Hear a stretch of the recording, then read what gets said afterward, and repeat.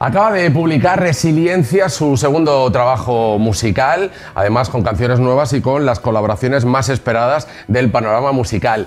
Esto va a ser un antes y un después en la carrera de, Beret, que está hoy conmigo en Cadena 100. Beret, bienvenido. ¿Qué tal? Muchas gracias. Oye, qué ilusión tenerte, porque tenía, después de escuchar el disco tenía muchas ganas eh, de, tenerte aquí en el programa y sobre todo de hacerte varias preguntas. Muchas gracias, sí, la verdad estoy muy contento. Estamos viviendo ahora mismo, bueno, estoy viviendo unos días súper especiales, después de dos años y medio creando el disco. Así que estoy dispuesto a todas tus preguntas. Qué bien.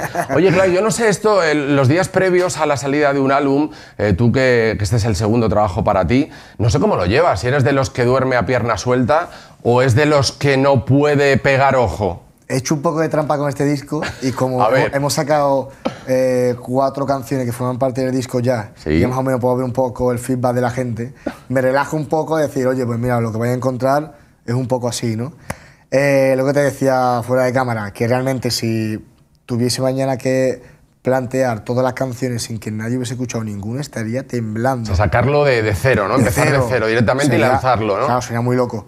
Pero, pero bueno, estoy intentando dormir bien. Es verdad que muchas veces me pasa, te lo juro, de hecho me ha pasado, que estaba, que estaba por la noche, me despierto escuchar el álbum, tío. ¿Ah, sí? Te lo juro, me despierto a escucharlo, a lo mejor estoy ahí que no duermo muy bien y, y pongo el álbum. Voy a repasarlo. Voy a repasarlo a ver qué tal. Vale, y en esos repasos, eh, ahora que el disco ya está a la venta, el disco ya ha salido, ya lo tiene todo el mundo, ya forma parte de la vida de todos tus seguidores, ¿cambiarías algo a día de hoy? ¿O crees que el disco está perfecto como está? Eh yo creo que está perfecto, pero porque este disco, este, a, la hora de crearlo, tiene una dinámica de que cuando empecé a hacerlo no sabía que estaba haciendo un disco, por lo tanto todo aquello que contiene el disco son cosas que han surgido que deben estar.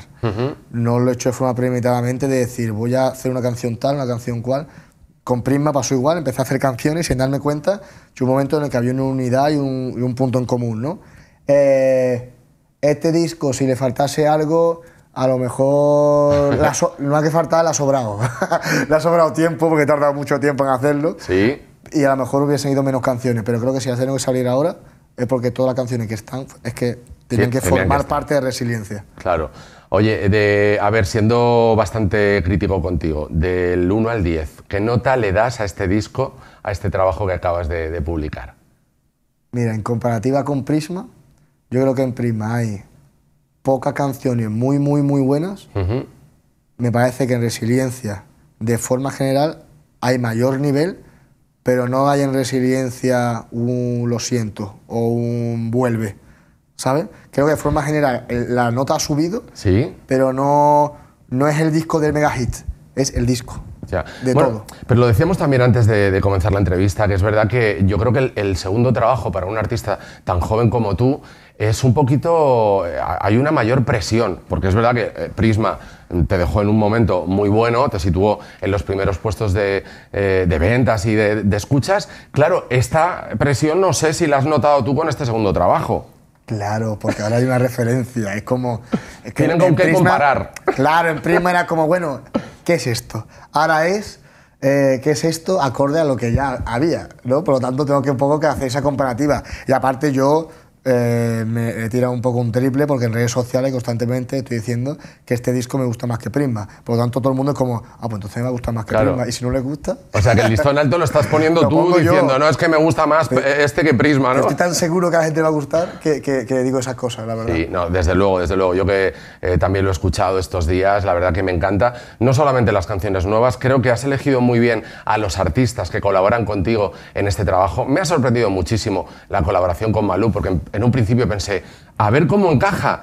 Eh, eh, claro, la forma de cantar de Malú con la de Beret, pero es que encaja perfectamente. no sé cómo lo habéis hecho, cómo has llegado a un acuerdo con ella. Bueno, ya Malú ya la conocía, pues, estuvimos grabando la voz y, yo le hablé con ella y le digo, Malú, digo, realmente no sé de qué forma va a funcionar esta canción. Digo, yo solo te pido una cosa.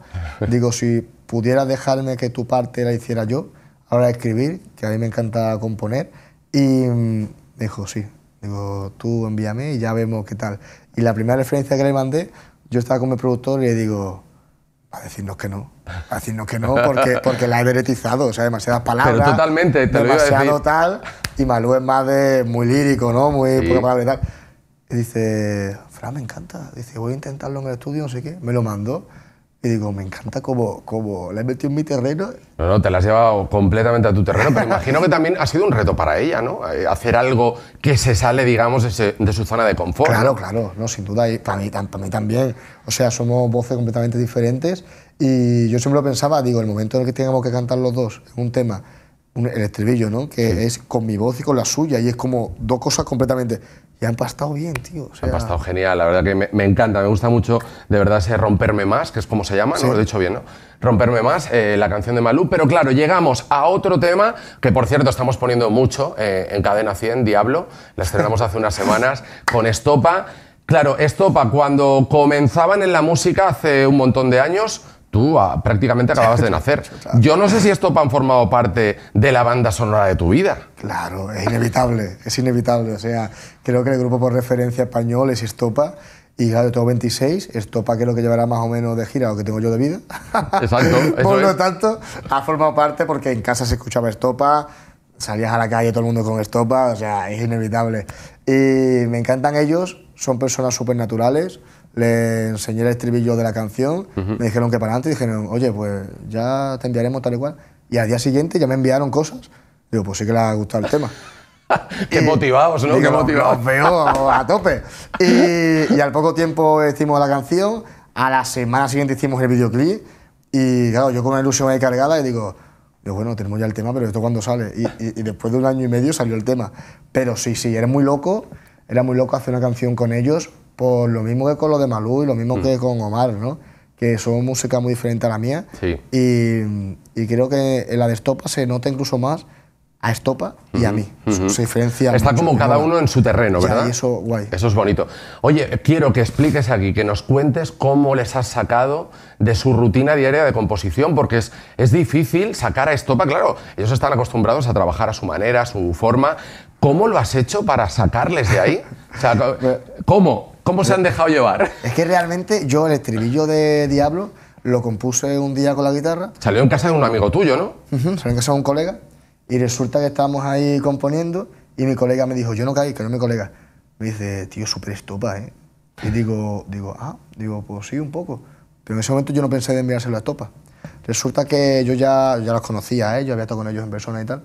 Eh, y se lo pasé a mi manager Andrea y le dije, digo, ¿qué te parece este estribillo? Y me dice, tío, súper estopa, se lo voy a enviar a ellos, no sé qué. Digo, ah, bueno, vale. Digo, solo tengo el estribillo, ¿eh? vale, no sé qué. Total, me habló David, me comentó que le había encantado. Yo diciendo, joder, qué bien, ¿no?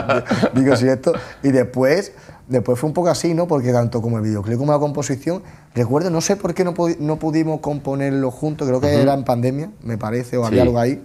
Y pensamos en ellos grabarlos en su estudio, yo en el mío, con una videollamada para vernos y tal.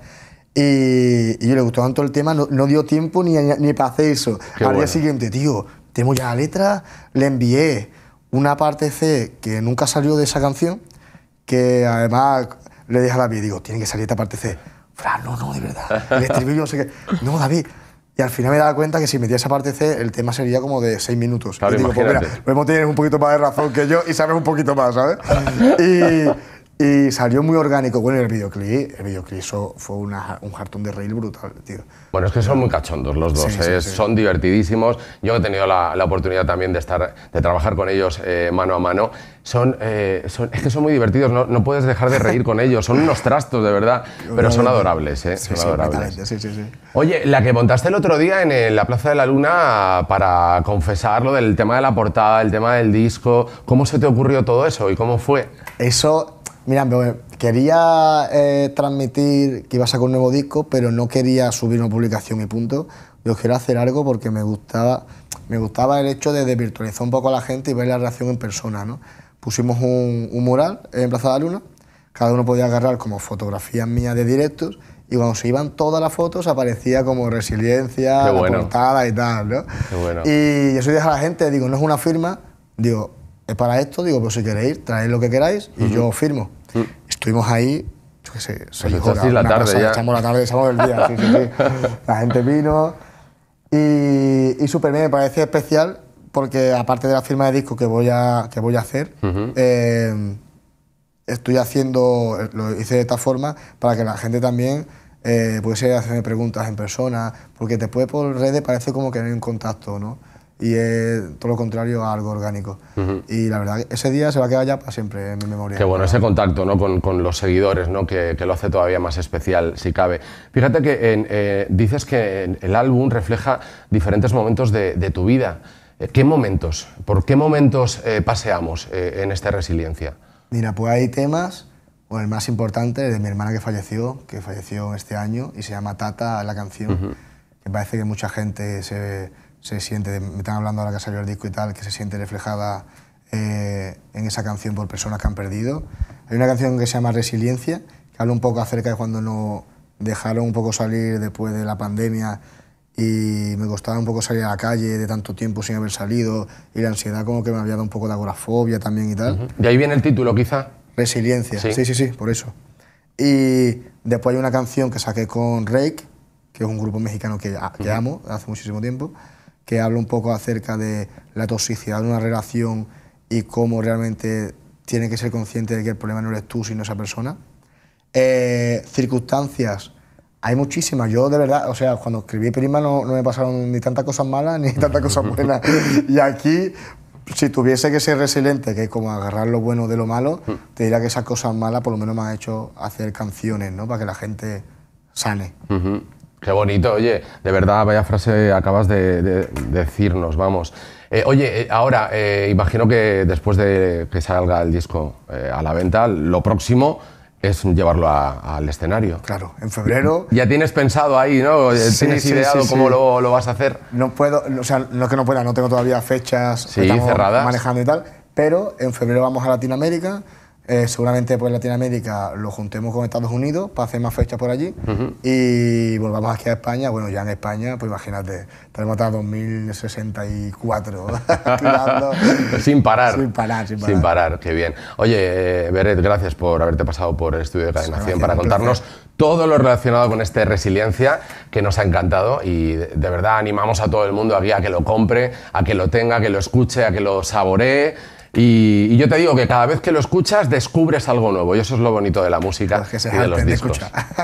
Beret, en Cadena Bueno, 100. Muchísimas gracias.